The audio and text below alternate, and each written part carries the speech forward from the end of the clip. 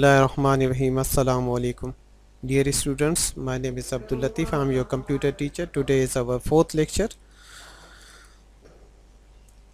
as we looking there looking the content of the course there is a unit number one number one the name of the unit is fundamentals of computer हम लोग fundamentals of the computers पढ़ रहे थे और इसके अंदर हमने जो है तीन इराज के बारे में पढ़ा एवोल्यूशंस ऑफ़ द कंप्यूटर जिसमें फ़र्स्ट पीरियड था मिड डार्क एजिस उसके बाद था हमारा मिडिल एजिस और उसके बाद मॉडर्न एजिस अब आ जाते हैं जो हमने लास्ट लेक्चर पढ़ा था, उसके बारे में कुछ रिव्यू कर लेते हैं। लास्ट लेक्चर में हमने जो चीज़ें पढ़ी हैं, उसमें इलेक्ट्रोमैकेनिकल एरा मिडिल एज उसके बाद है इलेक्ट्रॉनिक एरा और इलेक्ट्रॉनिक एरा के अंदर हमने जो पीरियड्स कवर किए थे, उनमें थे first generation of the computer second generation of the computer third generation of the computer fourth generation of the computer and fifth generation of the computer mechanical era के अंदर जो हमने मशीन कवर की थी, वो थी Hollerith tabulating machine Hollerith tabulating machine की जो डेफिनेशन है, उसमें जो की पॉइंट्स हैं होलेरेथ हारमैन होलीरेथ ने ये मशीन टेबलेटिंग मशीन डेवलप की थी, और ये मशीन दो, एक मशीन पहले आई है और एक उसके बाद मॉडिफाइड वर्जन उसका आया हुआ है। जो फ़र्स्ट टेबुलेटिंग मशीन थी वो 1880 के अंदर और इसके बाद जो सेकंड मशीन टेबुलेटिंग मशीन थी वो 1890 के अंदर। अब फ़र्स्ट टेबुलेटिंग मशीन जो है, उसने ये दोनों मशीन्स जो है यूएस के अंदर सेंसस में मरदमशुमारी के लिए यूज़ की गई थी। फ़र्स्ट मशीन जब यूज़ की गई, उस पर डेटा को जब प्रोसेस किया गया तो उस मशीन ने seven years seven it took the seven years for processing uh, processing the data. Census के उस डेटा को प्रोसेस करने के लिए उसने सात साल का अरसा लिया और उसके बाद रिजल्ट्स डिक्लेयर किए। इसी तरह से सेकंड जो टेबुलेटिंग मशीन है उसने सेंसस की डेटा को प्रोसेस करने के लिए सिक्स मंथ्स का जो है टाइम पीरियड लिया। अब इसके बाद जो है, अगली मशीन जो, अगला एरा जो हमारा है, वो है इलेक्ट्रॉनिक एरा इलेक्ट्रॉनिक एरा के अंदर first generation of the computers हमने 1940 से लेकर 1950 ये जो टाइम पीरियड है, इसे कहते हैं first generation of the computers इनमें जो मेन या बेस जो डिवाइस था that was a vacuum tube vacuum tubes बना था इस फ़र्स्ट जनरेशन में. फ़र्स्ट फ़र्स्ट जनरेशन से जितने भी कंप्यूटर्स बने, उनमें सब में वैक्यूम ट्यूब्स को इस्तेमाल किया गया. नुमाया कंप्यूटर्स इस जनरेशन के अंदर आए, वो उनमें ENIAC electronic numerical integrator and calculator, इसी तरह से यूनिवेक, यूनिवर्सल ऑटोमेटिक कंप्यूटर।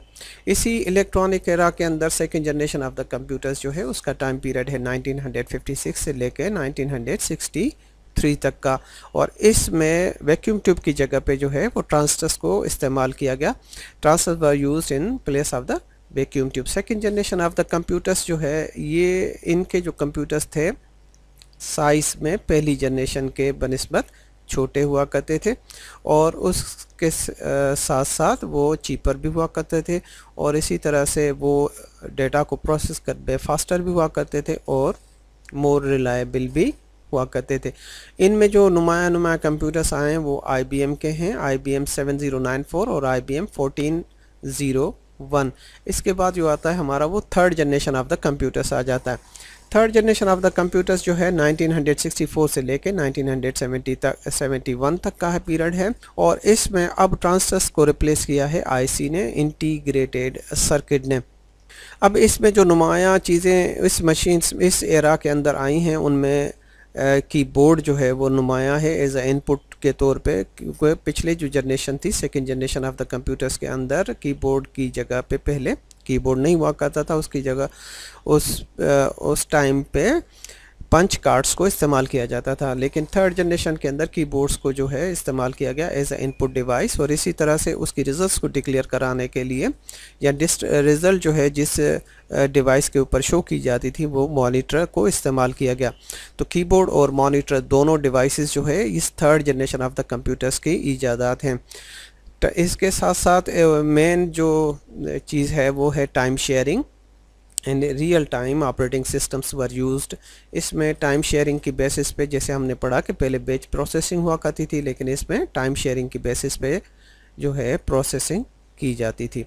इसके बाद है हमारा fourth generation of the computers fourth generation of computers का जो टाइम पीरियड है, वो है 1971 से लेके प्रेजेंट तक का। इस चीज़, इस जनरेशन के अंदर जो डिवाइस आई है, वो है आपका माइक्रो प्रोसेसर अब जो लास्ट थी, वो था लास्ट डिवाइस जो था, यानी कि third generation of the computers के अंदर आईसीस को इस्तेमाल किया गया fourth generation of the computers के अंदर माइक्रो प्रोसेसर्स को इस्तेमाल किया गया।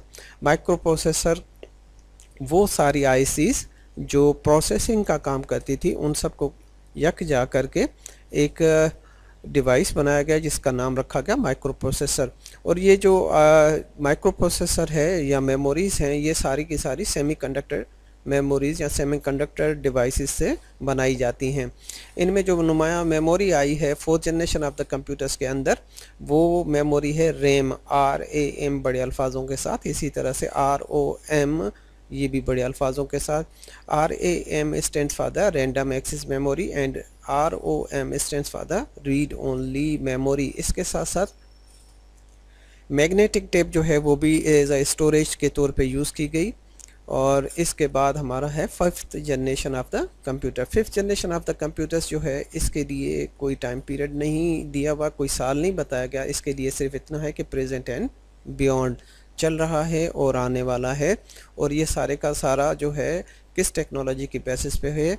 ये है आपकी एआई आर्टिफिशियल इंटेलिजेंस अब जितनी भी मशीनें आएँगी, वो सब की सब आर्टिफिशियल इंटेलिजेंस की बेसिस पे काम करेंगी। In this generation computer will be capable of the self learning artificial intelligence के जितने कंप्यूटर्स होंगे, वो खुद यानी कि सेल्फ लर्निंग करेंगे। इसके साथ साथ रीजनिंग कर सकते हैं, इसके साथ साथ जनरलाइजेशन इनमें जो मेन एग्जांपल है, आप रोबोट्स को देख रहे होंगे। रोबोट्स जो है, ये फिफ्थ जनरेशन लेकिन आर्टिफिशियल इंटेलिजेंस की टेक्नोलॉजी यूज़ की जाती है। अब आ जाते हैं हम अपने आज के लेक्चर के ऊपर। आज का लेक्चर हमारा है classification of the computers classification computers को जो है क्लासिफाई किया गया है, वो तीन टाइप से उसको क्लासिफाई किया गया है। एक है टेक्नोलॉजी की बेसिस पे, जिसे टेक्नोलॉजी कहें या फिर इसके साथ साथ टाइप ऑफ़ डेटा हैंडलिंग भी कह सकते हैं। इसी तरह से सेकंड जो कैटेगराइजेशन है that is base on the size and third on the purpose तीन यानी कैटेगराइजेशन हमारे पास की गई हैं। इसमें टेक्नोलॉजी की बेसिस पे साइज़ की बेसिस पे और पर्पस की बेसिस पे। इनमें से हम आज जो कवर करेंगे, ये पहला पोर्शन इसका कवर करेंगे टेक्नोलॉजी या टाइप ऑफ़ डेटा हैंडलिंग जिसके अंदर analogue digital and hybrid computers आ जाते हैं।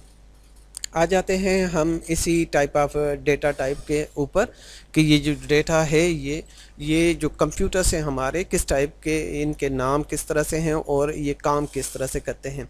इनमें कितने कंप्यूटर्स हमने पीछे लास्ट में स्लाइड के अंदर देखे, वो हैं तीन कंप्यूटर्स जिसमें से analogue computer digital computer and आपका हाइब्राइड कंप्यूटर एनालॉग कंप्यूटर कौन सा कंप्यूटर इस पिक्चर भी आप देख रहे हैं ऊपर, थोड़ी सी डेफिनेशन को रिव्यू कर लेते हैं। Analogue computers are use to process data analogue data analogue ये ऐसे कंप्यूटर्स हैं एनालॉग कंप्यूटर ऐसे कंप्यूटर्स कहलाते हैं जो एनालॉग टाइप की डेटा को प्रोसेस करते हैं। Analogue data are in the form of continuous varying physical quantities like a pressure temperature voltage speed whatever ये ई टी सी जितने हैं आपके पास, ये सब की सब जो है एनालॉग टाइप ऐसी डेटा टाइप है, जो कंटिन्यूसली वेरी करती रहती है। इन वेरी करने वाली जो डिवाइस डेटा है आपकी, इसमें प्रेशर आ गया, इसमें टेम्परेचर आ जाता है वोल्टेज स्पीड एंड वेट आ जाता है। अब आ जाते हैं इसके साथ साथ वो देखते हैं इनके एनालॉग टाइप ऑफ़ डेटा में जो डेटा यूज़ हो रहा है, वो किस टाइप से है। अगर आप देखें तो ये ह्यूमन है, जब ये बात करता है तो इसकी जो वेव्स हैं ये कंटिन्यूसली मूव कर रही होती है। इसे कह रहे हैं एनालॉग, प्रेशर या wavelength air, wave through the air. इसी तरह से ये वॉइस जो है जब इस माइक के साथ टकरा के आगे जाती है, इसी तरह से वो भी एनालॉग की शेप में ही मूव करती है। इसको अगर कंपेयर करते हैं हम डिजिटल के साथ तो डिजिटल देखें डिजिटल में इसमें कंटिन्यूस मूवमेंट है आपके एनालॉग के अंदर। इसी तरह से डिजिटल के अंदर कंटिन्यूस नहीं होता, बल्कि दो लेवल्स में एक ये लेवल आपकी शो होती है, एक ये लेवल आपकी शो होती है। तो दो टाइप की जो है वेव्स हैं, और एक एनालॉग वेव कहला रही है और दूसरी एनालॉग और डिजिटल वेव कहला रही है। अब इसके ऊपर जो डेटा मूव कर रहा होगा, वो digital type of the data होगा और इसके ऊपर जो डेटा होगा, वो एनालॉग डेटा कहलाता है। अब हमें वाजे हो गया होगा कि हम एनालॉग कंप्यूटर्स किसे कहते हैं? वो कंप्यूटर्स एनालॉग वो कंप्यूटर्स कहलाते हैं जो एनालॉग टाइप के डेटा को एग्जीक्यूट करते हैं। आ जाते हैं डिजिटल कंप्यूटर के ऊपर। डिजिटल कंप्यूटर्स हमारे इनकी डेफिनेशंस को रिव्यू कर लेते हैं। Digital computers are most commonly used type of computers ये कॉमनली यूज़ होने वाले कंप्यूटर्स हैं, जिसमें से ये एक कंप्यूटर की शेप जो है आपके सामने है, इसे ही डिजिटल कंप्यूटर्स कहते हैं।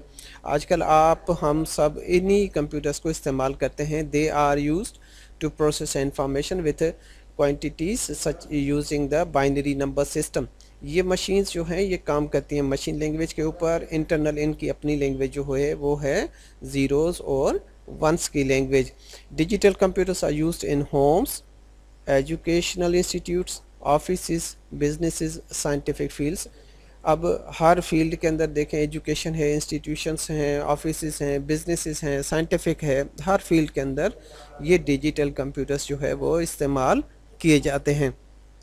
बाद आ जाते हैं डिजिटल डेटा टाइप के ऊपर। डिजिटल डेटा टाइप में देखें, अगर वही जो डेटा इस माइक के थ्रू अब एक डिवाइस में से होके जब आगे जाता है कंप्यूटर की तरफ़ तो फिर वो इस शेप में आ जाता है, ज़ीरो और वन की शेप में। तो ये कंप्यूटर जो है, ये ज़ीरो और वन की शेप वाली डेटा को या जो है बाइनरी डेटा को ही एग्जीक्यूट करता। है इस वजह से ये भी खुद डिजिटल कंप्यूटर ही कहलाता है। तो वो कंप्यूटर्स जो डिजिटल डेटा को प्रोसेस करें, उन कंप्यूटर्स को डिजिटल कंप्यूटर्स कहते हैं। अब देख लेते हैं इसी वेब में जो डिजिटल टाइप की ये जो डेटा है, ज़ीरो और वंस की, वो किस तरह से होती है, ये आपके सामने पहले भी ही इसको वेब हमने यानी कि शो की हुई थी। अब आप देख लें इसका एम्पलीट्यूड कहलाता है, ये यहाँ से हाइट जो होती है इसकी। इसी तरह से ये जो लेवल है, ये ज़ीरो लेवल है और ये वन लेवल है। जब ये मूवमेंट ये जब मूव कर रही होगी तो यहाँ पे ज़ीरो मूव कर रहा होगा। इसी तरह से जब ये हाइट पे जाके और फिर कुछ देर के लिए अगर ये डेटा चल रही है तो फिर इसे वन कहते हैं। इसी तरह से ज़ीरो और वन ज़ीरो ज़ीरो और वन और इसी तरह से ज़ीरो वन की लैंग्वेज जो है वो हम क्या कहेंगे? It is a binary language or in other words you can say that it is a digital type of data आ जाते हैं, हम इनके बाद जो है डिजी एनालॉग कंप्यूटर उसके बाद फिर हमने डिजिटल कंप्यूटर पढ़ा। अब हाइब्राइड कंप्यूटर्स के बारे में पढ़ते हैं। मैं सिंपल से वर्ड्स में ये बता दूँ कि हाइब्राइड डेटा हाइब्राइड जो कंप्यूटर्स हैं, वो हमारे एनालॉग और डिजिटल कंप्यूटर्स को कंबाइन करके एक ऐसी मशीन जो दोनों काम करे, उसे हाइब्राइड कंप्यूटर कहते हैं। Hybrid computers are the combination of the analogue and digital computer system ये क्या है? ये कॉम्बिनेशन है एनालॉग और डिजिटल कंप्यूटर सिस्टम का these computers combine analogue and digital दोनों टाइप की data analogue data analogue computer digital data digital computer इन दोनों की फीचर्स को जो है वो कंबाइन किया गया एक ही मशीन के अंदर। तो उस मशीन को हम नाम देते हैं hybrid computer hybrid computer hybrid computers use analogue to digital and digital to analogue conversion इसको अगर आप एनालॉग डेटा देते हैं तो फिर ये उसे कन्वर्ट करके डिजिटल में आपको बता देता है। इसी तरह से अगर आप इसे डिजिटल डेटा देते हैं तो फिर वो उसे कन्वर्ट करके एनालॉग फॉर्म में बता देता इट में इनपुट और आउटपुट इधर डिजिटल और एनालॉग दोनों आउटपुट ये दे सकता है। जो अगर आप डिजिटल देंगे तो आउटपुट आपको एनालॉग में मिलेगा। एनालॉग आप देंगे तो आउटपुट आपको डिजिटल में मिलेगा। डियर स्टूडेंट्स हमने आज के टॉपिक के अंदर जो है वो classification of the computers by data type या according to the data type हमने पढ़ा है। और उम्मीद करता हूँ कि ये आपको समझ में आ गया होगा। आपके पास अगर कोई क्यूरीज़ हैं तो मुझे आप कमेंट्स बॉक्स में भेज सकते हैं। इसके साथ साथ मैं आपसे गुजारिश करूँगा कि आप इस चैनल को जो है डिजी सिंध के नाम से, ये आपका अपना चैनल है। आप इसे सब्सक्राइब करें कमेंट्स करें लाइक करें और मैं आप लोगों से इजाज़त चाहूँगा। Thank you very much thanks for watching अल्लाह हाफिज़।